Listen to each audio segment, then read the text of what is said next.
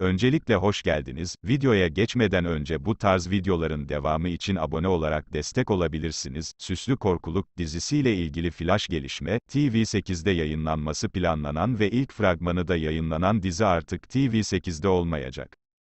Başrollerinde Çağatay Ulusoy ve Alina Boz'un olacağı dizinin kadrosuna son olarak Tolgun Şimşek katılmıştı. Süslü Korkuluk dizinin yapımcısı OGM Pictures ile TV8 arasındaki anlaşma bozuldu. Sürpriz bir gelişme olarak yorumluyorum bu durumu. Dün ise kanalın yeni bir dizi hazırlığında olduğuyla ilgili de bir video yapmıştım. Habere göre, dizinin yapımcısı şu anda dizi için başka kanallarla ve dijital platformlarla görüşme halinde, projenin dijitalde olması muhtemel görünüyor. İzlediğiniz için teşekkürler.